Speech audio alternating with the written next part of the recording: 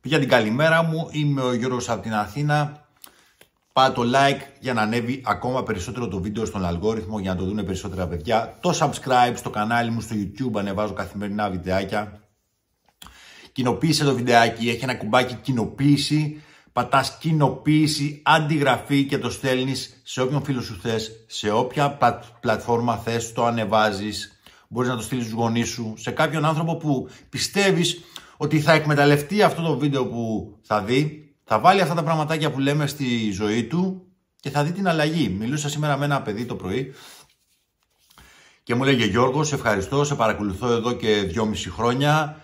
Πρώτη φορά μιλούσαμε, είχαμε τηλεφωνική επικοινωνία. Με έχεις βοηθήσει πάρα πολύ αυτά τα πράγματα τα οποία λες για την υλοποίηση, πώς θα φτιάξουμε τις σχέσεις μας με τον εαυτό μας, πώς θα φτιάξουμε τις σχέσεις μας με τον σύντροφό μας και θα δώσω μετά σε λιγάκι στο βίντεο τι χρειάζεται να κάνεις για να υλοποιείς; Θα πω αυτό το μυστικό, αυτό το tip που είναι θα σε βοηθήσει πάρα πολύ για να φτιάξεις αυτό που θέλεις στη ζωή σου.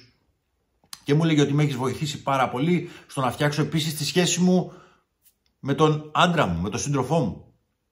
Να φτιάξω τη σχέση μου με τον εαυτό μου. Και ξέρεις αυτή η επανάληψη, η επανάληψη των βίντεο, αυτή η επανάληψη της γνώσης ουσιαστικά είναι που σε μετασχηματίζει και σου δίνει μια άλλη οπτική για τη ζωή. Σου δίνει μια άλλη οπτική ότι η ζωή δεν είναι μιζέρια, η ζωή δεν είναι γκρίνια. Είναι και αυτό, αλλά δεν είναι μόνο αυτό να το πω καλύτερα. Η ζωή έχει και ηρεμία, έχει και χαρά, έχει και ομορφιά. Μπορεί να έχει και μιζέρια, αλλά για το πόσο θα κρατήσεις εσύ τη μιζέρια στη ζωή σου. Αυτό επιλογή δεν είναι. Πόσο θα κρατήσεις αυτή την χαμηλή κατάσταση της συναισθηματικής στη ζωής σου. Αυτό δεν είναι επιλογή. Όλοι θα πέσουμε συναισθηματικά, όλοι θα έχουμε δύσκολες μέρες, όλοι θα έχουμε δύσκολες στιγμές. Δεν είναι κάθε μέρα μέλι, δεν είναι κάθε μέρα ζάχαρη, δεν είναι κάθε μέρα ηρεμία. Και χρειάζεται να βιώσεις και να νιώσεις όλα αυτά τα συναισθήματα, να περάσεις από αυτά τα μονοπάτια, να περάσεις από αυτές τις σχέσεις μέσα στη ζωή σου με τον ίδιο στον εαυτό. Είναι οι σχέσεις που δημιουργείς εσύ ο ίδιος με τον εαυτό σου.